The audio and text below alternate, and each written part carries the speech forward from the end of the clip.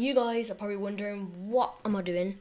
Well, I'm doing quick, quick, quick trick shot montage for you guys because this is something that I've wanted to do for ages. It's not from me; it's from other people who I've found and everything. And I'm just gonna do a quick montage because I think you guys should enjoy that. So hope you enjoyed this video, guys, and rate, comment, and subscribe. And yeah, let's get on with the video.